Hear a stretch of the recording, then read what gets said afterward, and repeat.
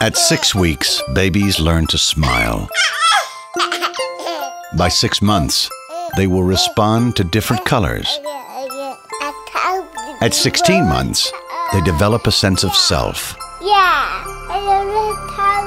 At what age do they learn to hate? Jeez, freaking foreigners! Too damn stupid to operate a car? Are, are you okay back there, sport? They learn to hate when you teach them. Your children are listening, and they're learning from you. Insults and slurs based on race, religion, disability, gender, or sexual orientation teach children it's okay to hate. Hate is the enemy in Santa Clara County, and you are on the front line.